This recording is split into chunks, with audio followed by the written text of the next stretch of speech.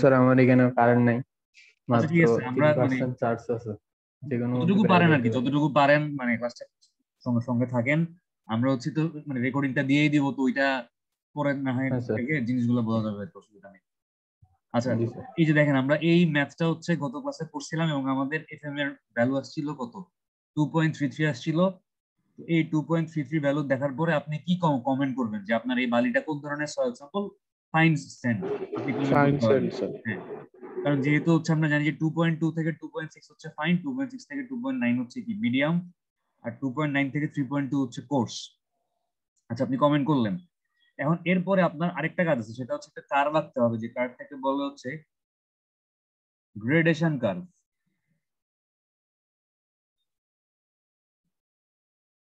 ঠিক আছে? এই গ্রেডেশন কার্ভটা কেন আঁকবো? কারণ এটা একে আমি মানে এটা ড্র করে আমি বুঝতে পারব যে আমার এই সয়েল মানে স্যান্ডেড স্যাম্পলটাতে সব রকম সাইজের বালি আছে কিনা। মানে আমি দেখতেছি যে বালি মানে আমার ফাইন স্যান্ড মানে কি? বালির ছোট দানা বেশি বা বালির মিহি টাইপের বালি বেশি। কিন্তু আমি তারপরেও বোঝার চেষ্টা করতেছি যে আমি যদি গ্রেন সাইজ ডিস্ট্রিবিউশন বা গ্রেডেশন কার্ভ আঁকি, এটাকে আপনার গ্রেন সাইজ ডিস্ট্রিবিউশনও বলে।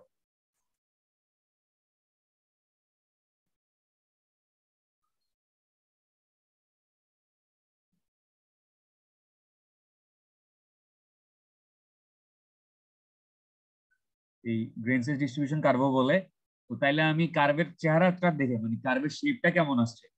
এই শেপটা দেখে হচ্ছে আমি বুঝতে পারব যে এখানে আসলে কি মোটামুটি বড়, ছোট মিডিয়াম সব সাইজের বালি মিলাই আছে? নাকি বড় বালি বা মাঝারি বালি একদমই নেই? সবই ছোট সাইজের বালি? নাকি ছোট, মাঝারি কিছুই নেই? সবই বড় সাইজের বালি? মানে এই জিনিসটা আমি এখান থেকে বুঝতে পারব আসলে, এই কার্ভটা থেকে। তো কার্ভটা আঁকার সময় এই যে চার্টটা দেখতেছেন, এই চার্টের দুইটা কলাম আমাদের লাগবে। আমাদের হচ্ছে যে সিপ সাইজ এই যে সিপ সাইজ এই কলামটা আমাদের লাগবে। আর হচ্ছে গিয়া পার্সেন্টেজ ফাইনার এই ভ্যালুগুলো আমাদের লাগবে। আমরা যখন গ্রাফটা আঁকবো, তখন আমরা হচ্ছে গিয়া ওয়াই অক্ষ বরাবর আচ্ছা প্রথমে এক্স অক্ষ বলি যে প্রথমে এক্স অক্ষ বরাবর বসাবো হচ্ছে গিয়া সিপ সাইজ ঠিক আছে?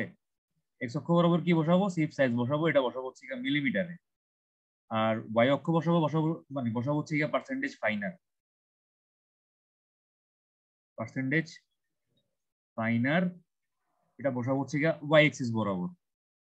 এখন এই যে গ্রাফটা আমরা আঁকবো sieve size versus percentage finer এই গ্রাফটা আমরা কোনো নর্মাল গ্রাফ পেপার রাখব না। আমরা এখানে ইউজ করব হচ্ছে গিয়া log semi log graph paper মানে নর্মাল গ্রাফ পেপার তো সবাই দেখছি আমরা। নর্মাল গ্রাফ পেপারে কীরকম থাকে? আমি এখানে কি সাদা জায়গা আছে? একটু ভালোই তো।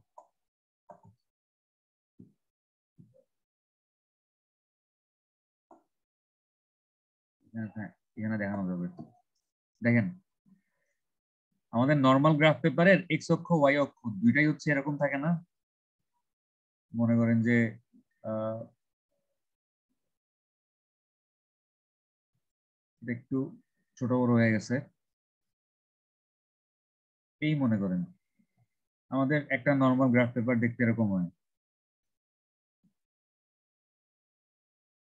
একটু ছোট বড় হয়েছে, সমস্যা নেই। মনে করেন যে এটা জিরো এটা ওয়ান এটা টু এটা থ্রি এটা ফোর এটা ফাইভ এটা আবার one two three four five six এটা হচ্ছে কি নর্মাল গ্রাফ পেপার তাই না? জি স্যার ঠিক আছে। নর্মাল গ্রাফ পেপারে এক্স অক্ষ ওয়াই অক্ষ দুইটাই আছে আমার কিসে? এক্স এবং ওয়াই দুইটা এক্সিস হচ্ছে গিয়া লিনিয়ার স্কেল বা মানে নরমাল স্কেলে আছে।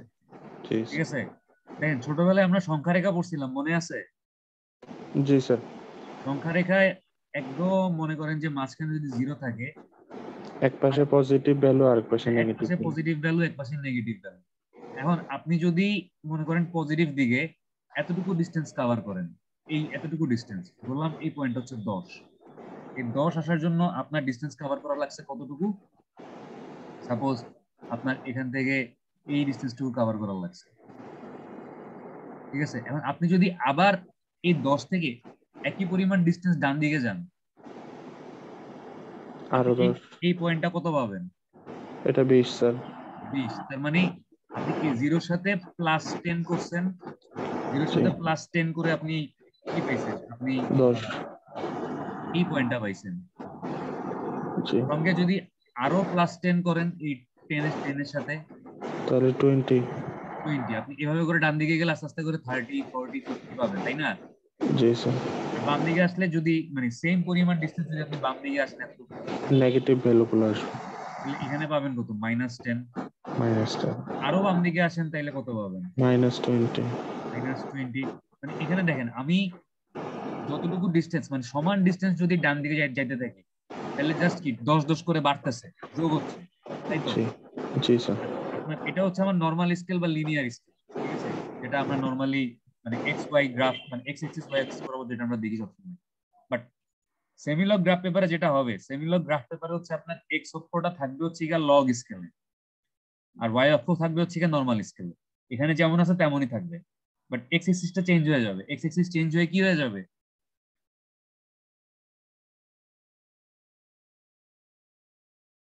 কি হলো? আমি যে আঁকলাম ওইটা কি আসে না চলে গেছে? চলে গেছে সমস্যা নেই। রেকর্ডিং তো হইছে। আমার স্ক্রিন দেখা যাচ্ছে? জি স্যার স্ক্রিন দেখা যাচ্ছে। তাহলে এক্স এক্সিস থাকবে মানে আমি যদি সেমিলগ গ্রাফ পেপারের কথা চিন্তা করি। সেমিলগ মানে সেমি কথাটার মানে কি? অর্ধেক না? সেমিলগ কথাটার মানে কি? অর্ধেক বা অল্প বা পোর্শন এরকম কিছু। তাহলে সেমিলগ গ্রাফ পেপারে হচ্ছে আমাদের এক্স এক্সিস থাকবে কোন স্কেলে লগ স্কেলে আর ওয়াই এক্সিসটা থাকবে কি? নরমাল স্কেলে নর্মাল স্কেল তাহলে এখন লগ স্কেলটা কি জিনিস দেখেন? লগ স্কেল হচ্ছে বুঝে না কেন? দাঁড়ান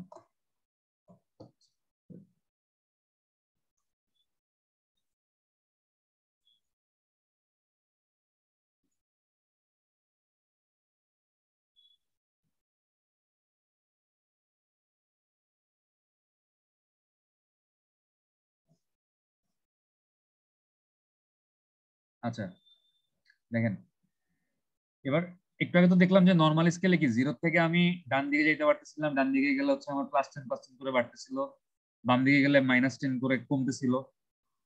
আর এখন দেখেন এটা হচ্ছে আমার কি স্কেল এটা হচ্ছে আমার লগ স্কেল আপনি যদি লগ স্কেলে কি জিরো থাকবে কি মনে হয়? লগ জিরোর মান কত? স্যার 1 লগ জিরোর মান 1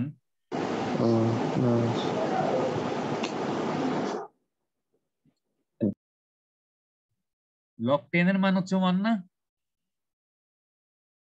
জি স্যার log 10 1 log 0 এর মান কত অসংজ্ঞায়িত। আপনি ক্যালকুলেটরে ইনফিনিটি log 0 চাইপা দেখবেন যে ম্যাথ এরর আসে ঠিক আছে?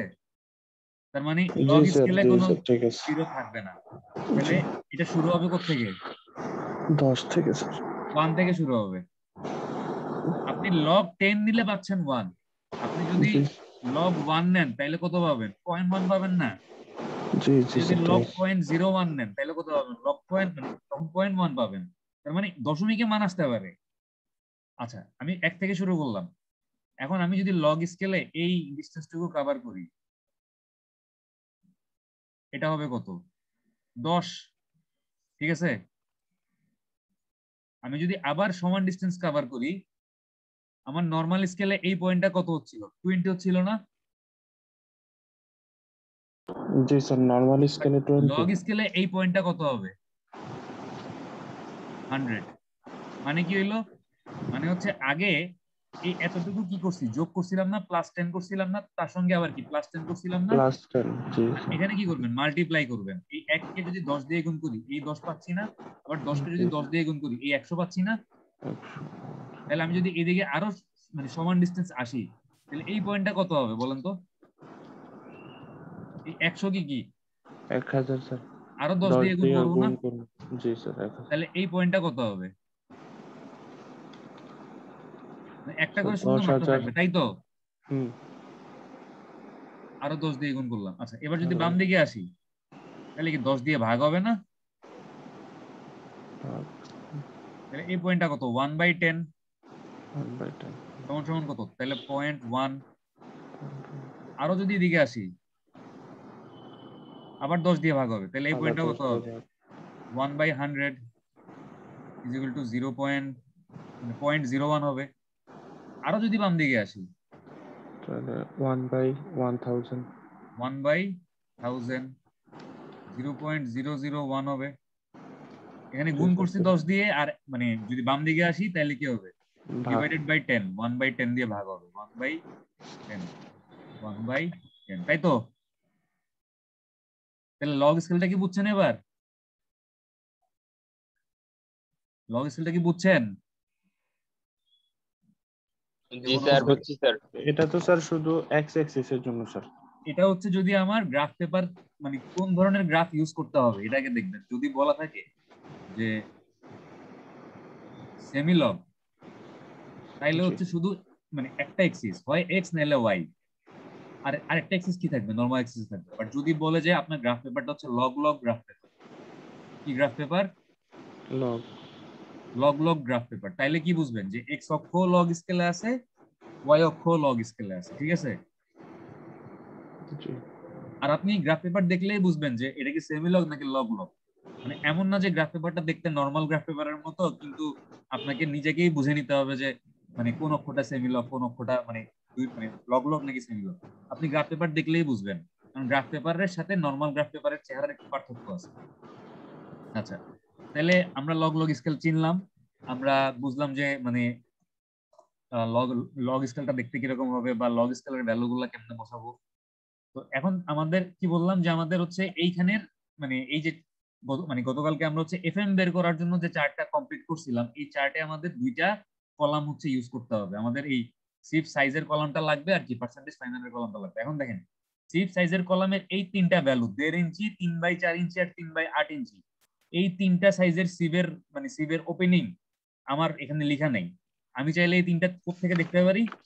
আমার যে লাগবে। ইউএস ইউএস স্ট্যান্ডার্ড সিভের একটা চার্ট দিছিলাম না আপনাদেরকে ওই চার্টে চলে যাব স্যার প্রথমটা থার্টি সেভেন পয়েন্ট ফাইভ তারপরে নাইনটিন তারপরে নাইন পয়েন্ট ফাইভ হ্যাঁ মানে এর থেকে দেখে নিয়েন তাহলে তাড়াতাড়ি হবে। আমি যেহেতু একজন বলছে আমি ডাইরেক্ট বসাই দিই। থার্টি দেড় ইঞ্চির জন্য আপনি কি এটা মুখস্থ করছেন নাকি দেখা বলছেন না স্যার ওই যে গতকাল কঙ্ক করছে স্যার লেখা আছে। মনে আছে? তারপর হচ্ছে পুরোটা বলুন। নাইনটিন নাইনটিন হ্যাঁ তারপর হচ্ছে nine point five nine point five আমি এগুলো বসাই দিলাম ঠিক আছে? তো আমার এই সিফ সাইজের কলামটারও মোটামুটি সবগুলা ভ্যালু জানা আছে পার্সেন্টেজ ফাইনালেরও সবগুলা ভ্যালু জানা আছে। এখন আমি চলে যাব হচ্ছে কি আমার গ্রাফে ঠিক আছে? আমার গ্রাফটা হচ্ছে এরকম দেখেন যে সেমিলো গ্রাফ পেপারটা দেখতে গেলে আমি এখন এই ভ্যালুগুলা গ্রাফে প্লট করব। মানে গ্রাফে বসাবো। বসায় দেখব যে আসলে আমার গ্রাফের চেহারাটা কেমন আছে। আচ্ছা। আমার স্ক্রিন দেখতেছেন না এখন আবার? হুম জি স্যার দেখতেছি। আরে স্ক্রিনে কি সমস্যা করতেছে আবার? একটু দাঁড়ান।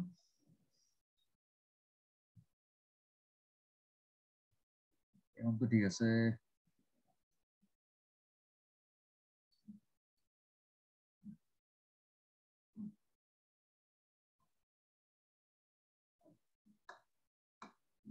সেগুলো তো আমরা গত ক্লাসে দেখছিলাম কম্পিউটার কীভাবে করছি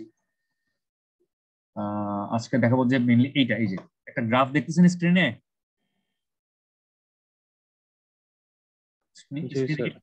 গ্রাফ দেখছি স্যার এই গ্রাফটাই কি? এই গ্রাফটাই হচ্ছে আমার সেমিলগ গ্রাফ পেপার কেন?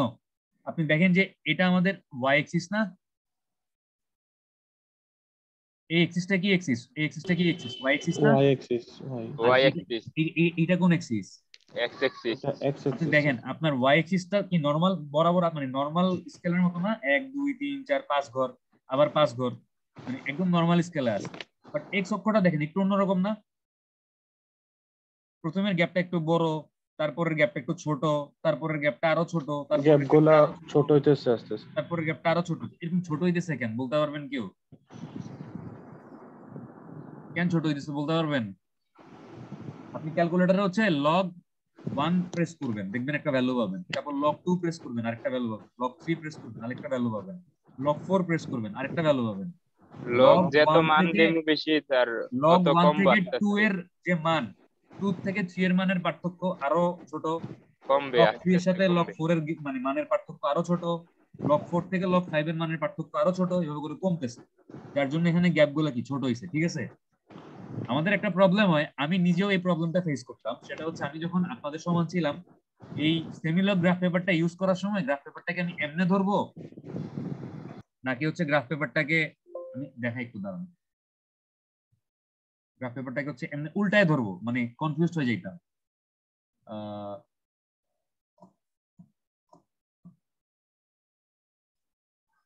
জুম আউট করে দাঁড়ান, তাহলে বুঝতে পারব। হ্যাঁ গ্রাফ পেপারটাকে অনেক সময় ভুলে এই যে, ঘুরে না কেন?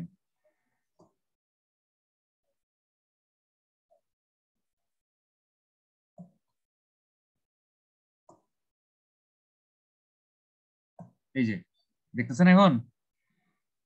অনেক সময় ভুলে এভাবে ধরে ফেলতাম। এটা অনেক সময় মাথায় কাজ করে না যে এটা কি আমি আসলে এভাবে ধরবো নাকি উল্টায় ধরবো? এখন যদি কোনো কারণে কনফিউজড হয়ে যান যে গ্রাফ পেপারটা কীভাবে ধরবেন? তাহলে কি চিন্তা করবেন বলেন তো? যে ঘরগুলা কি হবে? বড় থেকে হ্যাঁ, ছোট হবে। ঘরগুলা বড় থেকে ছোট হবে। তো এটা আমি কি করছি? এটা উল্টা ধরছি আসলে। এখানে কি ছোট থেকে বড় হয়েছে। তার মানে কি? এক্স অক্ষটা ভুল আসলে। তো এইভাবে করলে মানে একটু চিন্তা করলে আপনাদের কনফিউশনটা সলভ করে ফেলতে পারবেন। আচ্ছা তাহলে আমাকে বলেন যে আমাদের আজকে আমি ফার্স্টে এক্সিসগুলা লেখা ফেলি যে আমাদের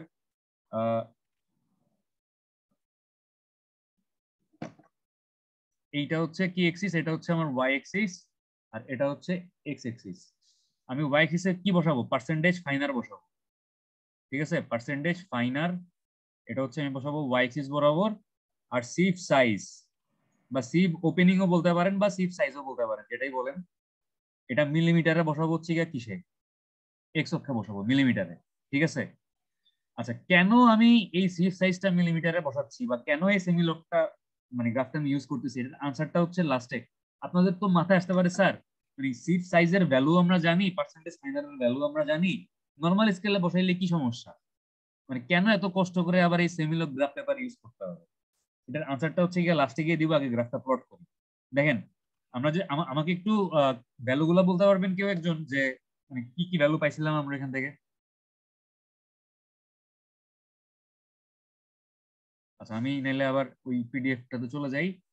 দেখেন, আমাদের সিফ সাইজ যখন থার্টি সেভেন পয়েন্ট ফাইভ তখন পার্সেন্টেজ ফাইনালের ভ্যালু কত? সিফ সাইজ হান্ড্রেড যখন sir hundred thirty seven point five percentage ফাইনালের ভ্যালু হচ্ছে হান্ড্রেড তাইলে এবার দেখেন থার্টি সেভেন আচ্ছা একটা জিনিস খেয়াল করেন আমাদের সিফ সাইজের হাইয়েস্ট ভ্যালু কত? থার্টি সেভেন পয়েন্ট ফাইভ না? জি থার্টি সিফ সাইজের লোয়েস্ট ভ্যালু কত? এই যে zero point one four nine percentage ফাইনালের হাইয়েস্ট ভ্যালু কত? হান্ড্রেড পার্সেন্টেজ ফাইনালের লোয়েস্ট ভ্যালু কত? জিরো তার মানে ওয়াই এক্সিসে আমি মানে জিরো থেকে শুরু করে একশো পর্যন্ত যাব। আর এক্স অক্ষ বরাবর আমাকে শুরু করতে হবে কত থেকে? ব- কেউ থার্টি সেভেন পয়েন্ট ফাইভ ওটা তো হাইয়েস্ট ভ্যালু লোয়েস্ট ভ্যালু কত? লোয়েস্ট হচ্ছে এই যে জিরো পয়েন্ট ওয়ান ফোর তাইলে আমি মানে এক্স অক্ষটা তো আমার লগ মানে এটা আমার এক্স অক্ষ বরাবর গিয়ে সিফ সাইজ মিলিমিটারে তাহলে এক্স অক্ষটা আমি মানে এটা তো জিরো থেকে শুরু হবে না। ওয়ান থেকে শুরু হবে না অক্ষ ওয়ান থেকে এমনকি ওয়ান থেকে শুরু করলে হবে নাকি অন্য কিছু থেকে শুরু করতে হবে? পয়েন্ট হচ্ছে লোয়েস্ট ভ্যালু তাহলে জিরো পয়েন্ট ওয়ান থেকে শুরু করতে হবে না? পয়েন্ট মানে আমি তো ওয়ান থেকে শুরু করলে কি হবে? তাইলে আমি হবে না নিচে তো আসবে না। অথবা পয়েন্ট ওয়ানটা যেহেতু একবার এখানে চলে আসতেছে আমি চাইলে পয়েন্ট জিরো ওয়ান থেকেও শুরু করতে পারি। পারি না? যদি পয়েন্ট জিরো ওয়ান থেকে শুরু করতাম তাহলে এর পরের মানটা কত হইতো পয়েন্ট ওয়ানের পরের মানটা হইতো ওয়ানের পরের মানটা হইতো টেন এর পরের মানটা হইতো হান্ড্রেড তাই না আমি চাইলে এটা কি point zero zero zero zero zero zero one থেকে শুরু করতে কিন্তু জিরো থেকে শুরু করতে পারব। এটাই হলো সমস্যা বুঝতে পারছেন যদি আপনি এটা point zero zero zero zero zero zero one থেকে শুরু করেন এর পরের পয়েন্টটা কি হবে একটা জিরো কমে যাবে না একটা জিরো কমবে হ্যাঁ জাস্ট এটাই ধরতে পারছেন তো জিনিসটা মানে স্যার জিরো থেকে শুরু করা যাবে না zero point zero zero zero zero zero zero one থেকে শুরু করতে হবে বুঝছি বুঝছি। আচ্ছা তাইলে আমাদের শুরু করতে হবে কি? মানে যেহেতু আমাদের পয়েন্ট ওয়ান ফোর নাইন বসাইতে হবে তো আমি আজকে শুরু করব পয়েন্ট জিরো ওয়ান থেকে শুরু করব। এবার দেখব মানে আর হাইয়েস্ট ভ্যালু কত? থার্টি সেভেন পয়েন্ট ফাইভ তার মানে আমাদের একশো পর্যন্ত যাওয়া লাগতে পারে। ঠিক আছে? যেহেতু থার্টি সেভেন পয়েন্ট ফাইভ আছে মানে দেখেন আপনি তো টেন পাবেন আর কত পাবেন? একশো পাবেন। এই টেন আর একশোর মাঝখানে কোথাও আপনাকে থার্টি সেভেন পয়েন্ট ফাইভটা বসাইতে হবে না? হুম জি স্যার হ্যাঁ মানে আপনি তো দশ দশ গ্যাপে পাবেন। ওকে তাহলে আমাদের আমরা আমাদের আচ্ছা কয়েকটা ভ্যালু হচ্ছে ডাইরেক্ট দেখে ফেলেন। বা আপনার একটু মনে রাখেন তাহলে হচ্ছে আমাদের গ্রাফটা একটা সুবিধা হবে দেখেন। পার্সেন্টেজ ফাইনালের প্রথম কয়টা মান একশো? দুইটা তিনটা চারটা পাঁচটা মানই একশো। আর এই ভ্যালুগুলো একটু মনে রাখেন সাতত্রিশ দশমিক পাঁচ উনিশ নয় দশমিক পাঁচ চার দশমিক সাত ছয় দুই দশমিক তিন আট মনে থাকবে? তাহলে গ্রাফটা তারা রাখতে পারব আর কি। মনে থাকবে নাকি থাকবে না বলেন। স্যার একটু। ফোর পয়েন্ট সেভেন সিক্স আর টু পয়েন্ট থ্রি এইট এই আমার মনে রাখতে হবে বাকিগুলো এমনিতেই মনে থাকবে। ফোর পয়েন্ট সেভেন সিক্স আর টু পয়েন্ট থ্রি মনে থাকবে আচ্ছা তাহলে গ্রাফটা আঁকি যে দেখেন তাহলে আমাদের থার্টি সেভেন পয়েন্ট ফাইভ এর জন্য আমাদের পার্সেন্টেজ ফাইনার কত একশো না? জি স্যার একশো। আচ্ছা ফার্স্টে গ্রাফটাকে হচ্ছে গিয়া মানে নাম্বারিং করি। এক্স এক্সিস বরাবর সরি ওয়াই এক্সিস বরাবর শুরু হবে কত থেকে? জিরো থেকে শুরু হইল। আমাদের লোয়েস্ট ভ্যালু ছিল পার্সেন্টেজ ফাইনারের কত? জিরো আর হাইয়েস্ট ভ্যালু কত ছিল? হান্ড্রেড না? জি স্যার হান্ড্রেড আর জিরো তাহলে আমি এটাকে টেন দেই এটাকে টোয়েন্টি দেই এটাকে থার্টি এটা আমাদের নর্মাল স্কেল ছোটবেলায় যেমন গ্রাফ আঁকছেন অমনি আঁকতেছি। সেভেন্টি এইটি নাইনটি তাহলে এটা কত হইল? একশো। আর এক্স অক্ষ বরাবর আমার কত থেকে শুরু হবে? ওয়ান থেকে বা পয়েন্ট জিরো ওয়ান থেকে বা পয়েন্ট ওয়ান থেকে? তাহলে আমি কি বলছিলাম? আমি জিরো পয়েন্ট জিরো ওয়ান থেকে 1.4 শুরু এর করব। আচ্ছা সমস্যা নেই করি। হ্যাঁ তাহলে আমি যদি এটা যদি আমার পয়েন্ট জিরো ওয়ান হয় এই পয়েন্টটা কত? জিরো পয়েন্ট ওয়ান না? স্যার এটা হবে জিরো পয়েন্ট ওয়ান এটা কত? এটা হবে স্যার শুধু ওয়ান এটা কত? এটা হবে দশ। এটা? এরপর এটা হবে 100 এটা? এটা হবে 1000 1000 বসানোর দরকার নেই কারণ আমাদের মানে x অক্ষ সরি y হ্যাঁ, x অক্ষ বরাবর হাইয়েস্ট ভ্যালু হচ্ছে কত? 37.5 এই মানটা হচ্ছে এই 10 আর 100 এর মধ্যেই থাকবে। তারপরও গ্রাফটা ভালো মতো বোঝার জন্য হচ্ছে আমি মানগুলা উঠাই দিচ্ছি। এটা কত হবে? এটা 10000 10000 হবে। তাহলে আমরা দেখছিলাম যে আমাদের 37.5 এর জন্য পার্সেন্টেজ ফাইনালের ভ্যালু কত? এটা স্যার 100 দেখেন থার্টি সেভেন পয়েন্ট ফাইভ হচ্ছে এক্স অক্ষ বরাবর। এখন আমাকে দেখেন এটা যদি দশ হয় আচ্ছা, গুণ করে বাড়তেছিল স্যার স্যার। হ্যাঁ হ্যাঁ হ্যাঁ দশ গুণ করে বাড়তেছিল। দেখেন এটা যদি পয়েন্ট জিরো ওয়ান হয় এই পয়েন্টটা কত? পয়েন্ট জিরো টু এই পয়েন্টটা কত? পয়েন্ট জিরো থ্রি এই পয়েন্টটা কত? কত? কেউ কোনো কথা বলেন এটা কত? Point zero five point zero six point zero seven point zero eight point zero nine point one এটা যদি পয়েন্ট ওয়ান হয় এটা কত? Point two point three point four point five point six point seven point eight point nine one মানে one হ্যাঁ। এটা কত? Two three four five six seven eight nine ten এটা কত? এটা পরে কত? Twenty four, thirty hmm, forty forty, fifty fifty, sixty sixty, seventy seventy, eighty eighty, hundred. আমাদের ভ্যালু কত? থার্টি সেভেন পয়েন্ট ফাইভ না? thirty-seven point five, তাহলে এটা কি? আমাদের এই পয়েন্টটা কত? 30, এটা থার্টি এটা কত? 30, ফর্টি না? forty, তাহলে হ্যাঁ, থার্টি সেভেন পয়েন্ট ফাইভ হচ্ছে এই ফর্টির কাছাকাছি কোথাও কাছাকাছি থাকবে হ্যাঁ, এবং এটা আপনি এই এক্সিস বরাবর সোজা কত পর্যন্ত চলে আসবেন একশো। স্যার হান্ড্রেড ওয়ান হান্ড্রেড তাহলে আমাদের পয়েন্ট হচ্ছে এইটা হইতে পারে। মানে চল্লিশের কাছাকাছি। এটা হচ্ছে তাহলে আমাদের একটা পয়েন্ট তাই না। আচ্ছা এরপর কত? নাইনটিন ছিল না? উনিশের জন্য একশো নাইনটিন ছিল দশ বিট। এটা এটা কি বিশ না আমাদের? এটা তো বিশ। এটা এটা তিরিশ? বিশের সাথে কাছাকাছি একবারে। বিশের কাছাকাছি এখানে কোথাও নাইনটিন তাই তো। আচ্ছা। এরপর কত? নাইন পয়েন্ট ফাইভ না? নাইন পয়েন্ট জি five sir nine point five আমাদের এই পয়েন্টটা কত? আচ্ছা এই যে আরে খোদা এই- এই পয়েন্টটা কত? নাইন না? জি। টেন এর আগেরটাই তো নাইন জি স্যার। দুইটার মাঝখানেরটা স্যার। তাহলে নাইন পয়েন্ট ফাইভ হচ্ছে মাঝখানে কোথাও এখানে এটার জন্য তো একশো। মাঝখানে। ছিল। একশো জি স্যার। ঠিক আছে? জি স্যার। আচ্ছা। এরপরে 9.5 এর কত? Four point four point seven six 4.76 এর জন্য 100 হান্ড্রেড এটা যদি আমাদের 2 হয় এটা যদি 3 হয় এটা যদি 4 হয় এটা যদি. 5 হয় তাহলে এই 5 আর এই 4 এই দুইটার মাঝখানে 4.76 আছে কোথাও? অর্ধেকেরও বেশি। অর্ধেকের চাইতে মানে 5 এর দিকে একটু চাইপা থাকবে আর কি। হ্যাঁ জি স্যার তাইলে এই 4 এটার জন্য হান্ড্রেড এটা না পয়েন্ট হবে নাকি নাকি এদিকে হবে? ভুলা কোনটা ঠিক আছে। ফাইভের দিকে থাকবে স্যার হ্যাঁ ঠিকই আছে। এটা 100 এটাই স্যার ঠিক আছে এটাই এটাই। হ্যাঁ ঠিক আছে?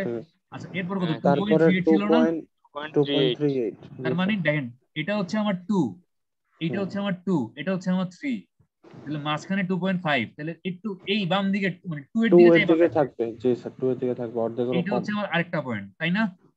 জি স্যার জি স্যার এবার বাকি পয়েন্টগুলো দেখা একবারে দেখে দেখে ফেললে আসে বাকি পয়েন্টগুলো হচ্ছে কত কত?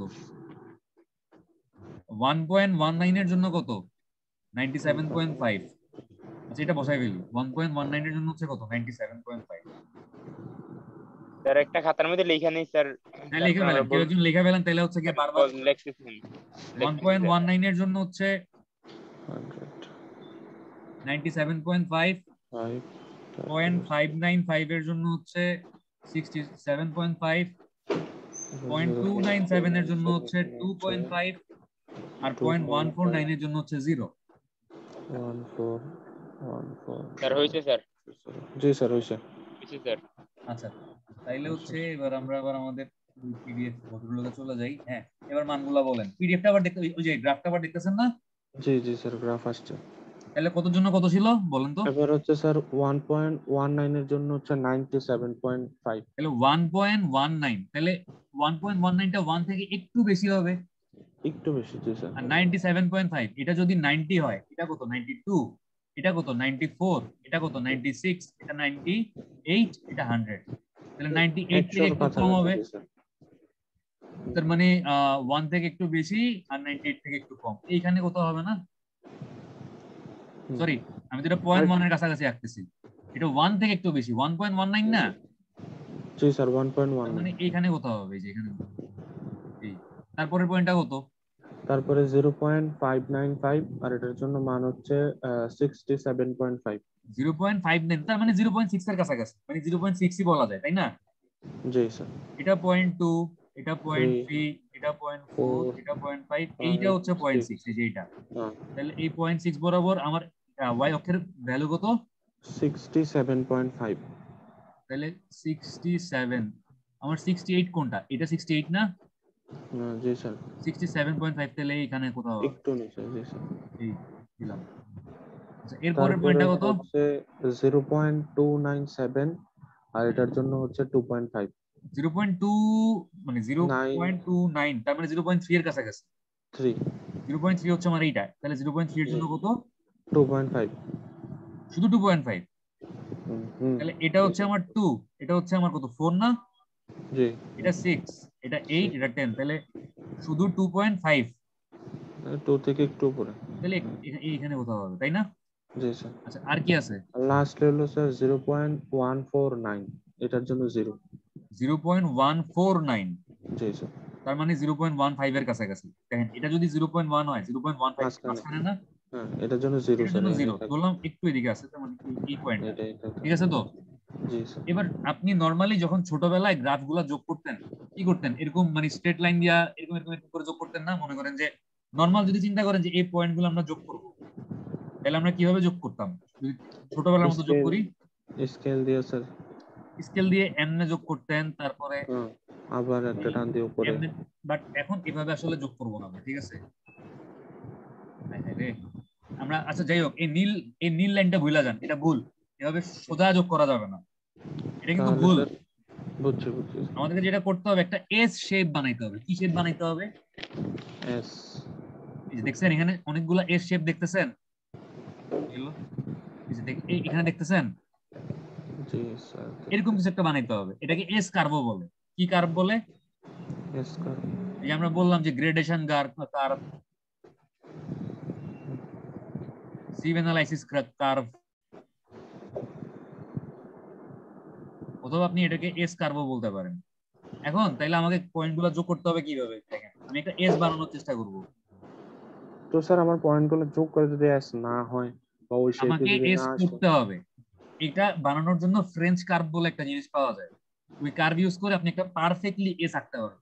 বাট আমরা মানে এখন মনে করেন যে এই ম্যাথটা করার জন্য ফ্রেঞ্চ কার্ভ তো ইউজ করতেছি না আমরা জাস্ট নর্মালি মানে ফ্রি হ্যান্ডে চেষ্টা করব একটা এস আঁকার পারফেক্টলি বাট যখন হচ্ছে এই ল্যাবটা করবেন মানে ইঞ্জিনিয়ারিং ম্যাটেরিয়ালস ল্যাব করবেন বা এই সিভ অ্যানালাইসিস দেখবেন যে আপনাদের এই চার বছর মানে জীবনে মানে তিন থেকে চারবার দেখবেন যে সিভ অ্যানালাইসিস করা লাগছে একবার সয়েলের করবেন মানে মাটির জন্য সিভ অ্যানালাইসিস করবেন। একবার বালির জন্য করবেন, একবার এগ্রিগেট মানে পাথরের জন্য করবেন। এবং প্রত্যেকবারই কি এই গ্রাফ থাকতে হবে? তো সেমিলো গ্রাফ পেপারের যদি ব্যাপারটা আজকে যদি ক্লিয়ার হয়ে যায়, তাহলে চিন্তা করেন আপনার গ্রাফ আঁকতে গেলে ওই দিন মানে ল্যাবে যখন স্যার বুঝাবে কত তাড়াতাড়ি বুঝতে পারবেন ইনশাল্লাহ। আচ্ছা যাই হোক। এখন মানে ওই ল্যাবে যখন অনেক মানে আমরা তো এখানে মাত্র পাঁচটা বা ছয়টা পয়েন্ট দিয়ে গ্রাফ আঁকতেছি বাট ল্যাবে দেখবেন যে হয়তো দশ পনেরোটা পয়েন্ট দিয়ে গ্রাফ আঁকবেন। তখন হচ্ছে এস কার্ভ বা ফ্রেঞ্চ কার্ভ মানে ফ্রেঞ্চ কার্ভ ইউজ করে এই কার্ভটা আঁকার চেষ্টা করবেন। বাট আজকে জাস্ট নর্মাল ফ্রি হ্যান্ডে আমরা একটা এস কার্ভ বানানোর চেষ্টা করছি দেখেন, এই সাথে এই পয়েন্ট যোগ করলাম, এই পয়েন্টের সাথে এই পয়েন্ট যোগ করলাম যোগ করলাম, তারপর কি? যদি এইভাবে আসি, আমি একটা এস পাইলাম না, মোটামুটি। আমার মানে এরকম ওভাররাইড করতেছে একটা ওভাররাইড হবে না just একটা স্মুথ এস এর মতো হবে ঠিক আছে? এরকম ওভাররাইড হবে না একটা পারফেক্ট এস এর মতো আঁকতে হবে। বাট মোটামুটি আমি একটা এস শেপ তো পাইলাম পাইলাম না? জি স্যার পাইছি। দেখেন এখন যদি আপনার গ্রাফটা মানে এরকম হইতো দেখেন মানে একদম শুরু থেকে শেষ পর্যন্ত পুরা পেজের মধ্যে থাকতো এই যে লাল গ্রাফটার মতো মানে লাল কাপ মানে কার্ভটার মতো দেখেন। কালার কাজ করে না কেন? হ্যাঁ দেখেন, এই যে যদি এই লাল গ্রাফটার মতো থাকতো, তাইলে হচ্ছে কি, আপনি বুঝতেন যে আপনার এই বালির স্যাম্পলের মধ্যে সব সাইজের বালি আছে। ছোট, বড়, মাঝারি, সব সাইজের বালি আছে। তাহলে এরকম কার্ভ আসলে আপনি কি বলবেন? এটা হচ্ছে well graded sand well graded মানে গ্রেডিংটা ভালো। আচ্ছা যদি এরকম খয়েরি টাইপের আসে মানে কার্ভটা এরকম ছিল, এরকম সোজা হয়ে নাইমা, আবার এরকম হয়ে গেছে। যদি এরকম শেপ হয় তাহলে আপনি বলবেন কি পুয়ারলি গ্রেডেড অথবা ইউনিফর্মলি গ্রেডেড মানে হচ্ছে কোনো একটা পার্টিকুলার সাইজের বালি বেশি আছে এবং ওইটাই সবচেয়ে বেশি। যদি এরকম আসে যে মানে কাঠটা হচ্ছে এরকম আইসা সোজা হয়ে নাইমা আবার মানে এরকম হইল। আর যদি কাঠটা যদি এরকম হয়, এরকম একটা লম্বা সোজা সোজা হরাইজন্টাল দাগ আসে, তারপর হচ্ছে আবার এরকম নামে। এটাকে বলা হচ্ছে গ্যাপ গ্রেডেড মানে পার্টিকুলার একটা সাইজ কি আছে? মিসিং আছে। আচ্ছা দেখেন। তাহলে ওয়েল গ্রেডেডটা কি বললাম? ওয়েল গ্রেডেড হচ্ছে একদম এইভাবে মানে পুরোটা পুরো কার্ভটা হচ্ছে পুরো পারফেক্টলি এস এর মতো থাকবে। তাহলে আমাদের এই লাল কার্ভটা কি? পুরো পারফেক্টলি এস এর মতো না একদম শুরু থেকে শেষ পর্যন্ত? এই জন্য এটা কি? এটাকে বলা হচ্ছে ওয়েল গ্রেডেড এটা কার্ভ নাম্বার ওয়ান হচ্ছে কি? ওয়েল গ্রেডেড এবার দেখেন যে খয়েরি কার্ভটা দেখেন। এরকম সোজা আইসা এরকম. স্ট্রেট নাইমা গেছে। নাইমা হচ্ছে আবার এদিকে আসছে। এটাকে কি বলে? এটাকে বলে পুরলি গ্রেডেড বা হচ্ছে কি ইউনিফর্মলি গ্রেডেড মানে পার্টিকুলার একটা সাইজের বালি আছে আর অন্য সাইজের বালিগুলো মিসিং আর গ্যাপ গ্রেডেড মানে হচ্ছে মনে করেন যে বড় সাইজের বালিও আছে ছোট সাইজের বালিও আছে কিন্তু মিডিয়াম সাইজের বালি নেই। এটাকে বলে কি? গ্যাপ গ্রেডেড বলে। ঠিক আছে? মানে কার্ভটা কীরকম হবে? গ্যাপ গ্রেডেডের জন্য এরকম আসলো এই যে এরকম আসলো আইসা একটা সোজা হরাইজন্টাল দাগ হবে তারপর আবার নামবে। মানে পার্টিকুলার এই সাইজটা মিসিং আছে। তাহলে এই আমাদের কার্ভের চেহারা দেখে এটাকে কোন ধরনের কার্ভ মনে হচ্ছে? ওয়েল গ্রেডেড নাকি গ্যাপ গ্রেডেড নাকি হচ্ছে পুরলি বা ইউনিফর্মলি গ্রেডেড কি মনে হচ্ছে? Poorly graded, স্যার ফোর হবে। স্যার এটার মধ্যে তো স্যার মাঝখানের যে অংশটা স্যার এটা তুলনামূলক স্ট্রেট হয়েছে স্যার। ওয়েল গ্রেডেড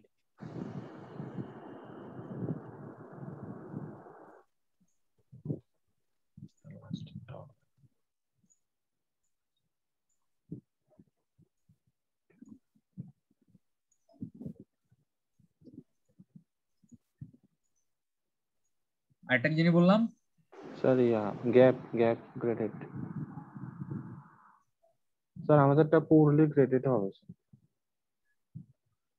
আমাদেরটা কি আসলে পুরলি গ্রেড হবে নাকি ওয়েল গ্রেড হবে নাকি গ্যাপ গ্রেড হবে? কোনটা হবে? পুর পুরলি গ্রেডেড স্যার আমাদেরটা হচ্ছে পুরলি গ্রেডেড হ্যাঁ।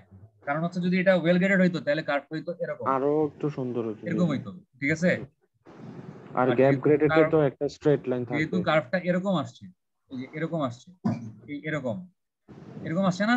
জি স্যার এই সোজা এরকম নাইমা গেছে। এটাকে বলা হচ্ছে কি? পুরলি গ্রেডেড বা ইউনিফর্মলি গ্রেডেড আর যদি এরকম আসতো এই যে এরকম আইসা এরকম একটা সোজা দাগ তারপর আবার এরকম তাহলে কি হইতো? তাইলে হচ্ছে আমি যদি আপনাদেরকে একটা এই সিভ ম্যাথ দেই তাহলে ম্যাথটা করে ফার্স্টে কমেন্ট করতে হবে যে স্যান্ডটা আসলে কোন ধরনের sand fine sand coarse sand নাকি মিডিয়াম স্যান্ড আর যদি বলি যে গ্রেডিং কার্ভ আঁকো ঠিক আছে? তাহলে এই কার্ভটা এঁকে মানে গ্রাফ পেপারে ভ্যালুগুলা ওই যে পার্সেন্টেজ ফাইনার আর হচ্ছে কি সিফ সাইজ মিলিমিটারে বসায় এই কার্ভটা এঁকে এটা কি আসলে ওয়েল গ্রেডেড স্যান্ড নাকি পুরলি গ্রেডেড স্যান্ড নাকি গ্যাপ গ্রেডেড স্যান্ড কমেন্ট করতে পারবেন না যদি কমেন্ট করতে বলি। স্যার এরকম গ্রাফ পেপারে কিছু প্র্যাকটিস করতে হবে তাহলে প্র্যাকটিস করতে হবে আর এরকম এই গ্রাফটা হচ্ছে আমি দিয়ে দিব মানে এটা সফট কপি আমার কাছে আছে কারণ এই করোনার টাইমে আপনি মানে হয়তো গুগলে সার্চ দিলে গ্রাফ পেপার পাবেন কিন্তু ফ্যামিলি গ্রাফ পেপার আবার বিভিন্ন সাইকেল আছে three cycle four cycle five cycle মানে কাহিনী আছে। এটা মনে হয় এক, দুই, তিন, চার, পাঁচ, এটা মনে হয় ছয় সাইকেল মানে ছয়টা ভাগ। দেখেন এক্স অক্ষ ছয়টা ভাগ না এখানে?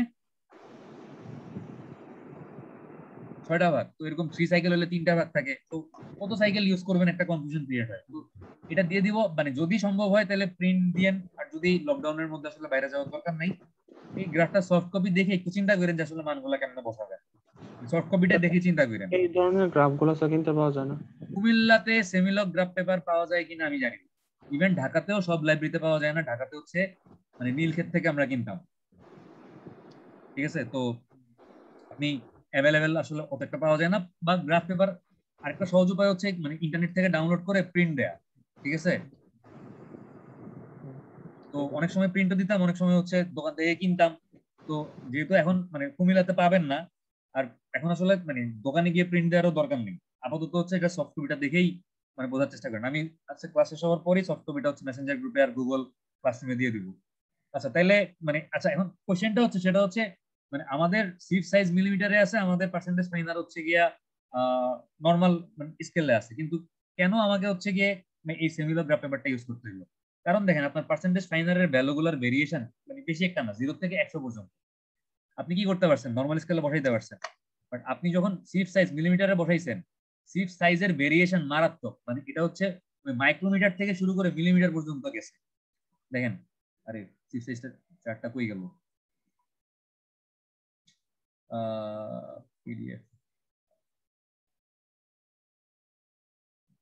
দেখেন সিফ সাইজ হচ্ছে আমার এই একশো পঁচিশ মিলিমিটার থেকে শুরু করে একশো পঁচিশ মিলিমিটার হচ্ছে গিয়া সবচেয়ে বড় ভ্যালু সিফ সাইজের আর সবচেয়ে ছোট ভ্যালুটা কত মাইক্রোমিটার বিশ মাইক্রোমিটার না? টোয়েন্টি মাইক্রোমিটার বিশ মাইক্রোমিটারকে মিলিমিটারে নিতে হলে কত দিয়ে ভাগ করতে হবে?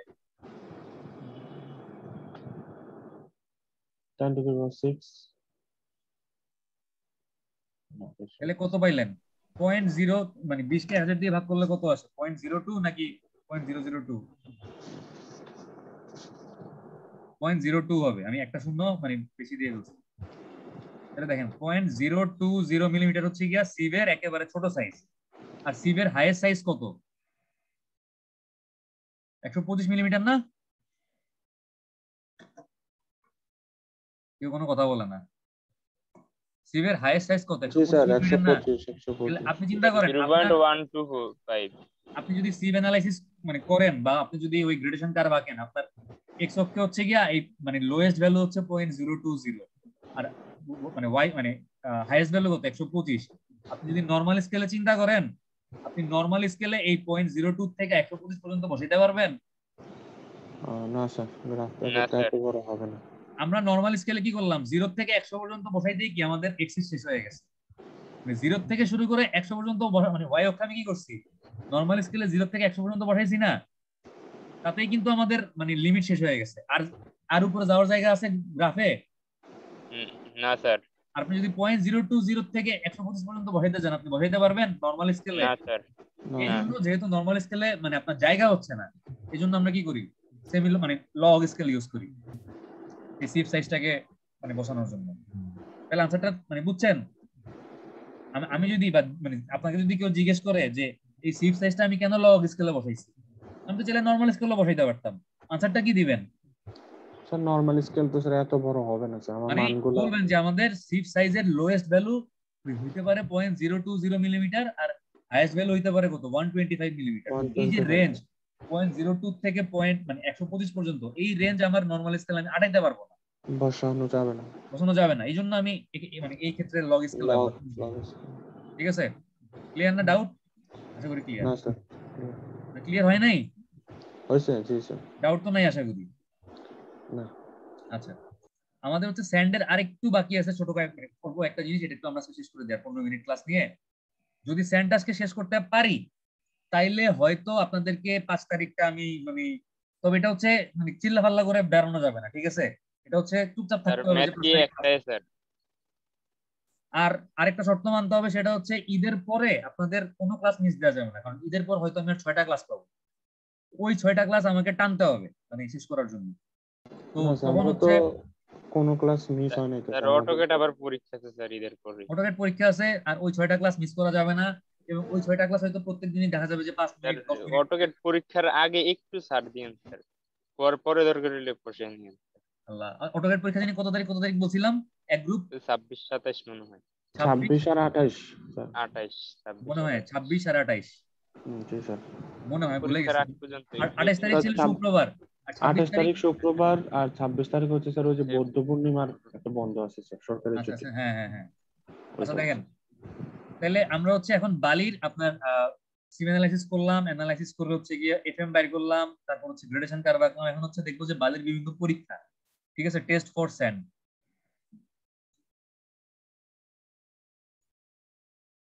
প্রথমে দেখে- দেখেন যে আমরা টেস্ট করব যে বালির মধ্যে কোনো সিল্ট বা ক্লে আছে কিনা test for presence of silt and clay if silt and clay are present in sand uh, uh, they they are they could be found out by determining the percentage loss in weight of a sample of sand after washing the same with the aid of clean water মানে হচ্ছে কোনো একটা বালির স্যাম্পলে মাটি বা কাদা আছে কিনা, এটা বুঝবেন আপনি কীভাবে, এটা আপনি বুঝবেন যে ওই বালিটাকে পানি দিয়ে ধোয়ার পরে ওই বালিটার মানে না ধোয়া অবস্থায় ওজন থেকে, ধোয়া অবস্থায় ওজন কত পার্সেন্ট লস হয়েছে ওই পার্সেন্টেজ অফ লস থেকে আপনি বুঝতে পারবেন যে এই বালিটার মধ্যে কোন রকমের কোনো কাদা বা মাটি- মাটি ছিল কিনা। কীভাবে?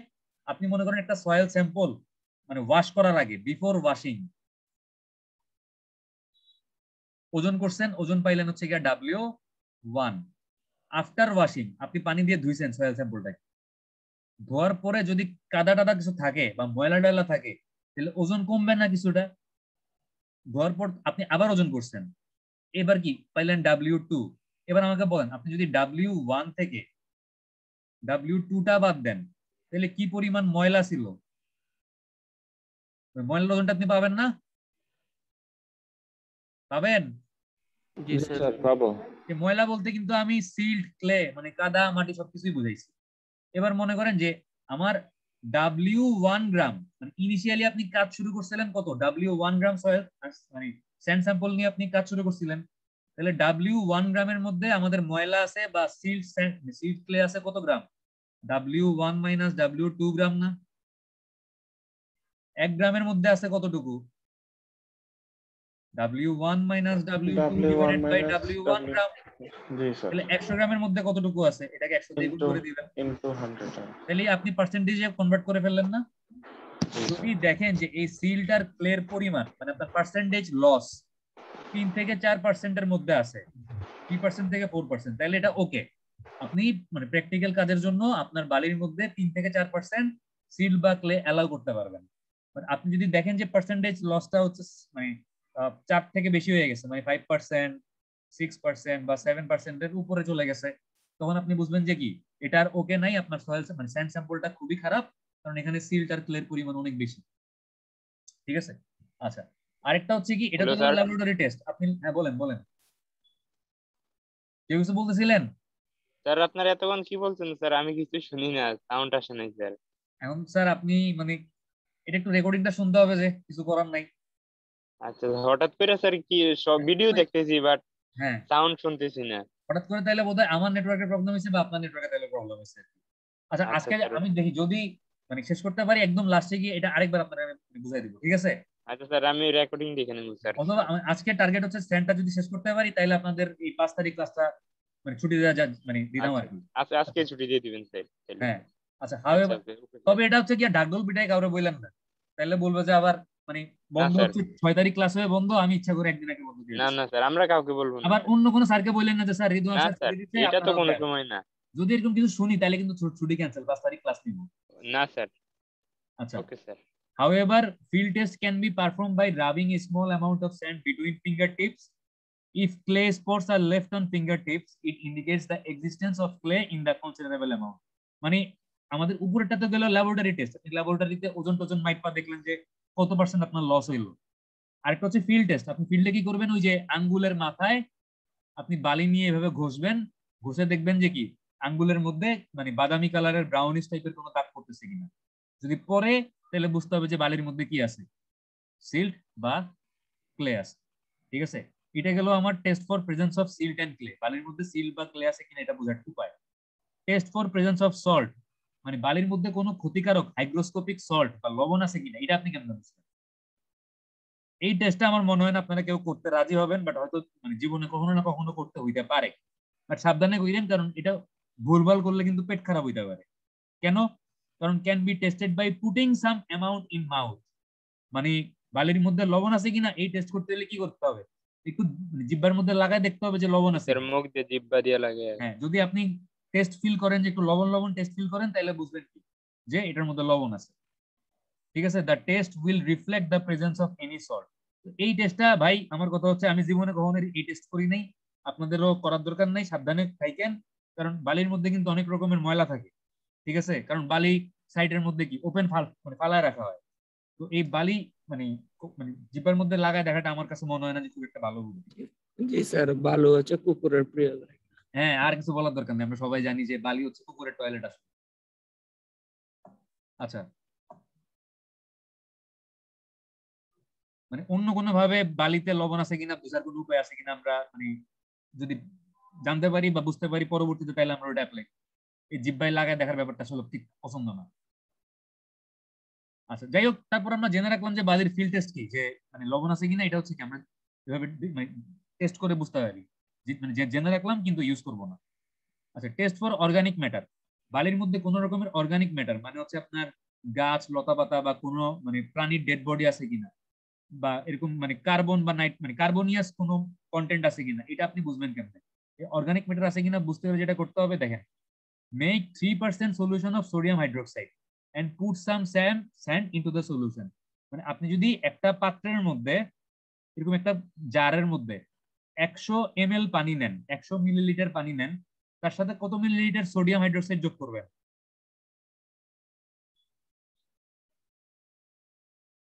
থ্রি মিলিলিটার সোডিয়াম হাইড্রোক্সাইড যোগ করবেন, ঠিক আছে? আপনি যদি একশো লিটার পানি নিতেন, তার সাথে কত মিলি মানে কত লিটার সোডিয়াম হাইড্রোক্সাইড যোগ করতেন? তিন লিটার যোগ করতেন মানে যতটুক পানি, তার তিন পার্সেন্ট হচ্ছে কি? সোডিয়াম হাইড্রোক্সাইড নেবেন, নিয়ে কি, ভালো মতো মিশাবেন, পানি আর সোডিয়াম হাইড্রোক্সাইড মিশিয়ে একটা মিক্সচার বা মিশ্রণ তৈরি করবেন। এবার এই মিশ্রণের মধ্যে আপনি put some sand into the solution কিছু বালি দিয়ে দিবেন ঠিক আছে? আমি এই মিশ্রণের মধ্যে কিছুটা বালি দিলাম। কিছুটা বালি দিলাম। বালিগুলো কি হবে? একেবারে নিচে গিয়ে মানে তলানি হিসেবে জমে যাবে না? জমবে? আচ্ছা। জি স্যার চলবে close the bottle for twenty four hours আপনি কি করবেন? চব্বিশ ঘণ্টার জন্য এই বোতলের মুখটা বন্ধ করে দিবেন। ঠিক আছে? চব্বিশ ঘণ্টার জন্য কি করবেন? বোতলের মুখটা বন্ধ করে দিবেন। And meanwhile shake the solution vigorously এবং এই বন্ধ থাকা অবস্থায় একটু পর পর মনে করেন এক ঘণ্টা বা দেড় ঘণ্টা পর পর গিয়ে গিয়ে বা কিছুক্ষণ পর পর গিয়ে গিয়ে আপনি বোতলটাকে ইচ্ছা মতো কি করবেন? আমরা অনেক সময় আমাদের কাশি হইলে সিরাপ খাই না? কফের সিরাপ? জি স্যার ঝাঁকে খাইতে হয়। ভালো করে ঝাঁকাইতে হয়। হ্যাঁ, খাবার পূর্বে- খাবার পূর্বে হ্যাঁ, খাবার পূর্বে ঝাঁকিয়ে নিন মানে গায়ের মধ্যে লিখাই থাকে। জি স্যার। অ্যান্টাসিড প্লাস সিরাপের মধ্যে দেখেন লিখা আছে। ঠিক আছে? জানি না আপনারা কেউ খাইছেন কিনা কোনোদিন অ্যান্টাসিড প্লাস সিরাপ খাইছি আচ্ছা, স্যার অ্যান্টাসিড অ্যান্টাসিড গ্যাস্ট্রিকের সমস্যার জন্য অনেকে খায় মানে গ্যাস্ট্রিকের প্রবলেম। খাইছি। তো দেখেন যে ওই এই পাত্রটাকে হচ্ছে কি করতে হবে? কিছুক্ষণ পর পর গিয়ে খুব ভালো মতো ঝাঁকাইতে হবে। তো চব্বিশ ঘণ্টা পরে আপনি দেখবেন যে the colour of the liquid turns brown if any organic matter is present in the sand মানে যদি ওই বাল্বটার মধ্যে কোন রকমের অর্গানিক ম্যাটার থাকে তাহলে হচ্ছে গিয়ে এই যে লিকুইডটা মানে আপনি যে একশো এম পানির সাথে তিন এম এল সোডিয়াম হাইড্রোক্সাইড মিশায় একটা সলিউশন বানাইছেন এই সলিউশনটা বা এই লিকুইডটার কালার কি হয়ে যাবে? ব্রাউনিশ টাইপের বা বাদামি টাইপের কালার হয়ে যাবে। এবং যত গাঢ় বাদামি হবে বা যত কালচে টাইপের বাদামি হবে মানে যত বিশ্রী টাইপের কালচে টাইপের বাদামি হবে, তত বুঝবেন এটার মধ্যে কি? অর্গানিক ম্যাটারের পরিমাণ বেশি আছে। The darkness of the colour gives the estimation of the amount of organic matter exist in the salt. মানে যত ডার্ক ব্রাউন তত কি? বেশি অর্গানিক ম্যাটার বুঝতে পারছেন? তাহলে অর্গানিক ম্যাটারের টেস্টটা কি মানে মানে বুঝছেন তো? আশা করি ল্যাবরেটরিতে করতেও পারবেন আমি যদি জিজ্ঞেস করি বা পরীক্ষাতে লিখতে দিই লিখতেও পারবেন বলতেও পারবেন। পারবেন না? পারবেন ইনশাআল্লাহ। আমাদের আর পাঁচ মিনিট লাগবে ক্লাসটা শেষ করতে আমরা আর পাঁচটা মিনিট নিয়ে আজকে স্যান্ডটা শেষ করে দিই। দেখেন সাবস্টিটিউট ফর স্যান্ড মানে বালির বিকল্প হিসেবে আপনি কি ব্যবহার করবেন? মনে করেন আপনি এমন একটা জায়গায় কনস্ট্রাকশনের কাজ করতেছেন যেখানে বালি নেই বা বালি মানে কস্টিং অনেক বেশি পড়তেছে। বালি কিনতে গেলে অনেক টাকা খরচ হচ্ছে। ওই জায়গায় বালির কি? সাবস্টিটিউট বা বিকল্প ব্যবহার করতে হবে। If good sand is not available in the nearby of the site the substitute may be use মানে আপনার কনস্ট্রাকশন সাইটের আশেপাশে যদি ভালো কোয়ালিটির বালি পাওয়া না যায়, সেই ক্ষেত্রে we can use the substitute of sand মানে হোয়াট মানে হোয়াট আর দ্য সাবস্টিটিউটস মানে বালির বিকল্প আপনি কি ব্যবহার করতে পারেন? একটা হচ্ছে স্টোন স্ক্রিনিং মানে হচ্ছে স্টোন স্ক্রিনিং বলতে হচ্ছে পাথর ভাঙা। দেখবেন সাইটে হচ্ছে এরকম একটা মানে যখন সাইটে কনস্ট্রাকশন হয় একটা বড় এরকম কাঠের একটা চালনি থাকে। একটা কাঠের ফ্রেমের মধ্যে এরকম দেখবেন যে নেট লাগানো থাকে। কখনো দেখছেন? এই বড় চালনিটার মধ্যে আপনি কি করবেন? মানে পাথর ভাঙা স্টোন স্ক্রিনিং এই ভাঙা পাথরগুলো আপনি এখানে চালবেন। তো চাললে কি হবে? বড় সাইজের পাথরগুলো আটকায় যাবে। আর যেগুলো একটু পাউডার টাইপের পাথর মানে একদম গুড়া গুড়া হয়ে গেছে একটু ছোট সাইজের পাথরগুলো। এগুলা কি? এই চালনিটা দিয়ে পাস করে যাবে না? বড় সাইজের কি করবে? রিটেইন করবে?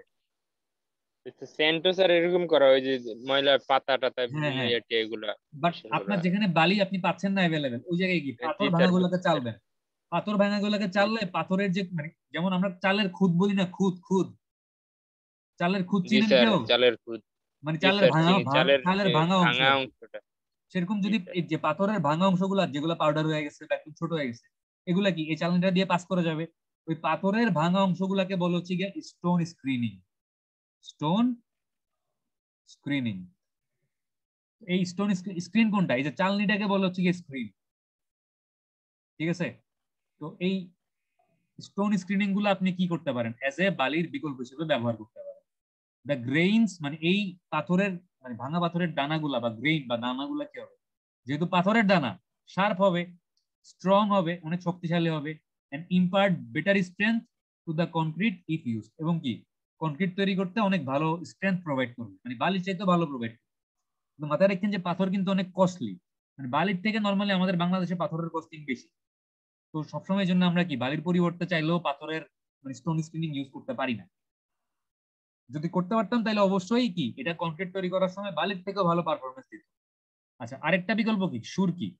এইটা মোটামুটি ইউজ করা যায় কারণ মানে সুরকিটা কি?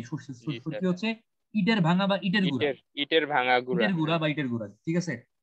Obtain from finely powdered burn clay মানে ইটকে ফার্স্টে গুঁড়া করে এরকম চালনি দিয়ে চালে তো যে অংশটা হচ্ছে পাস করে যায় ওটাই হচ্ছে কি? আমার সুরকি।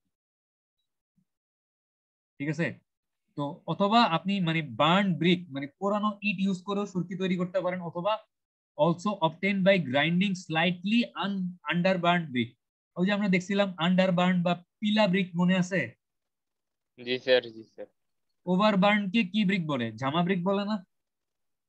ওভার ব্র্যান্ড ঝামা ঝামা ব্রিক স্যার আন্ডারবার্ন বা পিলা ব্রিক যেগুলো আছে এগুলাকে আপনি কি মানে গ্রাইন্ড করে মানে চূর্ণ বিচূর্ণ করে আপনি এরকম চালনি দিয়ে চে- চেলে মানে যেই পার্সেন্টেজ ফাইনালগুলা পাবেন মানে যেগুলো হচ্ছে আপনার পাস করে যাবে। এই পাসিং ম্যাটেরিয়াল গুলাকে আপনি কি করতে পারেন? এজ এ সুরকি হিসেবে ব্যবহার করতে পারেন। বাট এই সুরকি যেহেতু অতটা স্ট্রং না বা অতটা ডিউরেবল না it distinguishes under the action of air and humidity মানে বাতাস বা হচ্ছে জলীয় বা আর্দ্রতা, এই ধরনের ইফেক্টগুলার কারণে আপনি যদি কনক্রিট তৈরি করতে সুরকি ব্যবহার করেন এজ এ ফাইন এগ্রিগেট হিসেবে, তখন এই সুরকিগুলো কি? ডিকম্পোজ বা নষ্ট হয়ে যায়। So not used for external mortar তার মানে আপনার বাসার বাইরের দেয়ালটা প্লাস্টারিং করতে। এটা মনে করেন আপনার বাসা, এটা ভিতরের দেয়াল, এটা মনে করেন আপনার বাসার বাইরের দেয়াল। এই বাইরের দেয়ালটা প্লাস্টারিং করতে আপনি কখনো কি করবেন না। এজ এ সুরকি হিসাবে ইটের গুঁড়া বা ইটের ভাঙা ইউজ করার চেষ্টা করবেন না। কারণ তাহলে কি হবে? এই দেয়ালের প্লাস্টার তাড়াতাড়ি নষ্ট হয়ে যাবে। কারণ যেহেতু সুরকি হচ্ছে কি? এনভায়রনমেন্টাল সাসেপ্টেবল মানে এনভায়রনমেন্টের সাথে খুব একটা ভালো খাপ খাওয়াইতে পারে না, নষ্ট হয়ে যায়। ঠিক আছে?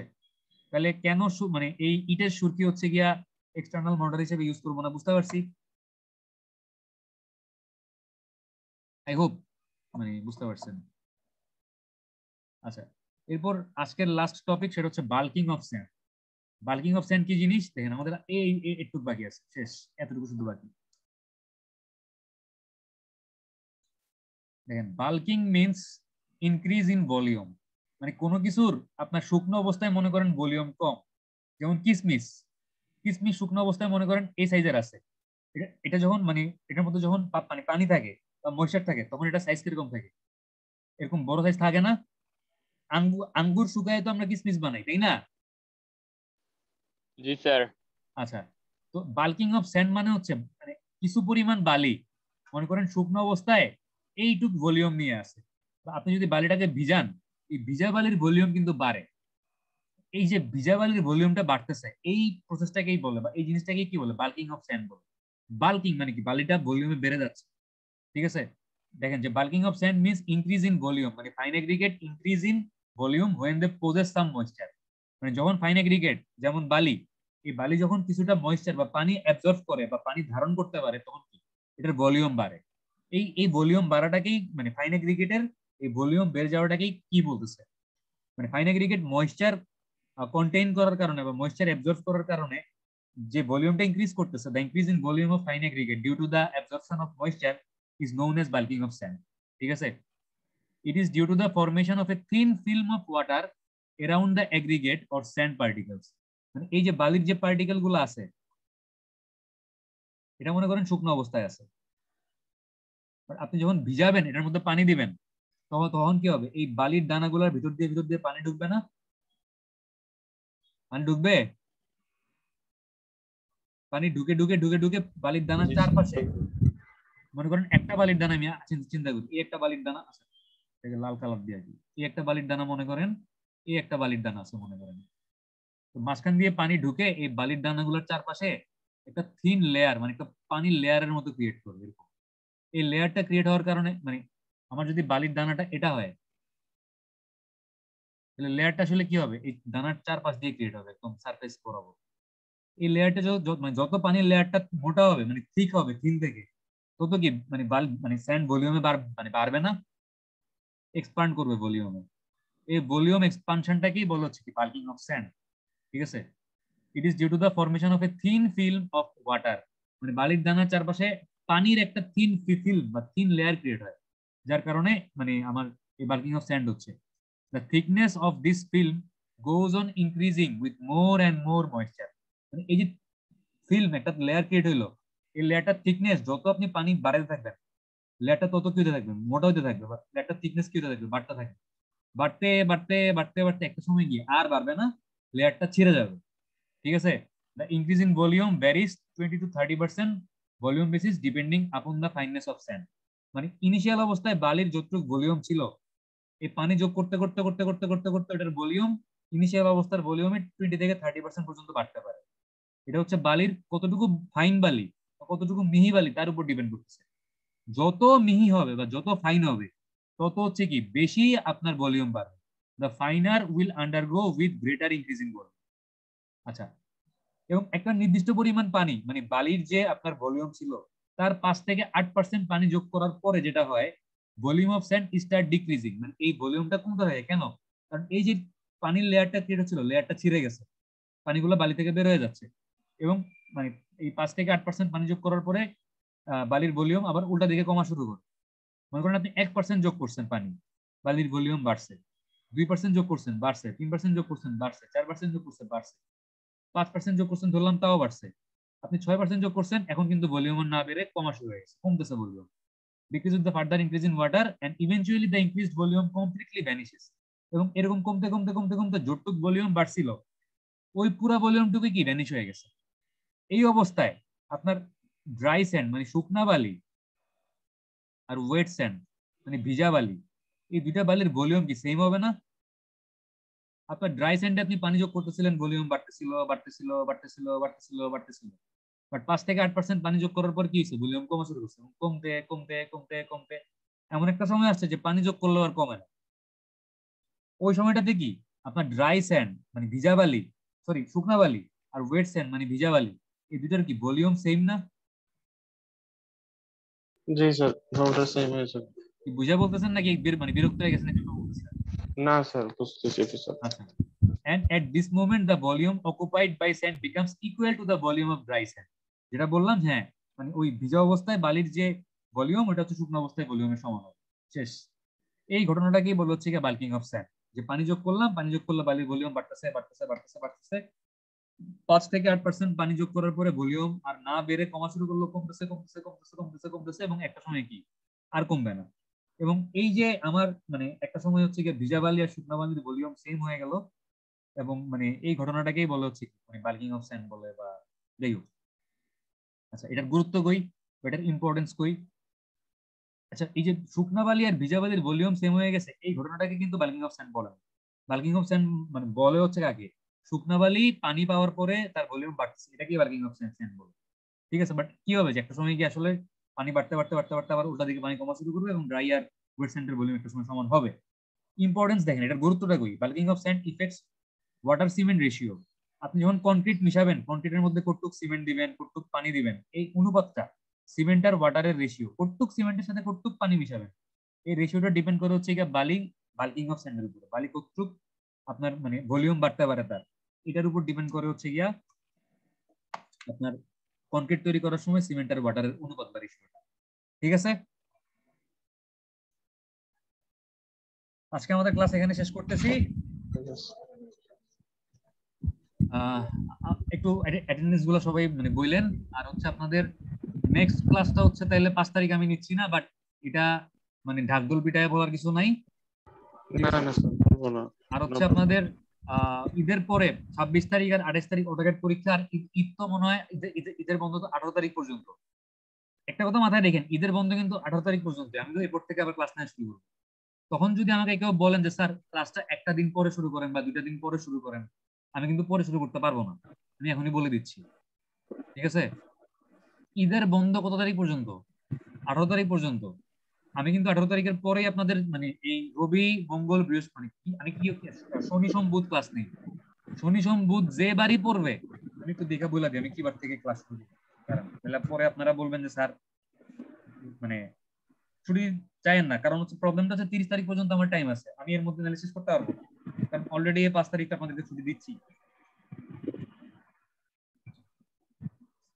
ঈদের পর হচ্ছে আমরা ক্লাস শুরু করব আঠারো তারিখ তো, উনিশ তারিখ কি বার? বুধবার। উনিশ, বিশ, একুশ। ছাব্বিশ তারিখও বুধবার পড়ে গেছে। ছাব্বিশ তারিখের ক্লাসটা তো এমনিতেই মিস যাচ্ছে। কারণ মানে আপনাদের ল্যাবের কারণে।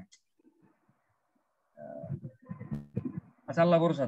মানে যদি শেষ করতে না পারি, তাহলে ধরো মানে প্রয়োজন হলে একটা বা দুইটা এক্সট্রা ক্লাস নিয়ে শেষ করব। ঠিক আছে? তাহলে ঈদের পরে আপনাদের আমি ক্লাস নিব কত তারিখ দেখেন? আঠারো তারিখ যদি ঈদের বন্ধ হয়, উনিশ তারিখ, বিশ তারিখ, একুশ তারিখ। আমি উনিশ তারিখ কিন্তু আমি ক্লাস নিব, ঠিক আছে? বুধবার। শনি সোম বুধ হ্যাঁ। উনিশ তারিখ আমি মানে ম্যাটেরিয়ালস ক্লাস নিব। কারও কোনো প্রবলেম আছে উনিশ তারিখ ক্লাস করতে? মানে পাঁচ তারিখ ছুটি চাইলে উনিশ তারিখ ক্লাস করেন আর উনিশ তারিখ ছুটি চাইলে পা- মানে পাঁচ তারিখ ক্লাস করেন, আপনাদের ইচ্ছা। কোনটা করবেন। চিন্তা করেন, চিন্তা করে আমরা বলেন।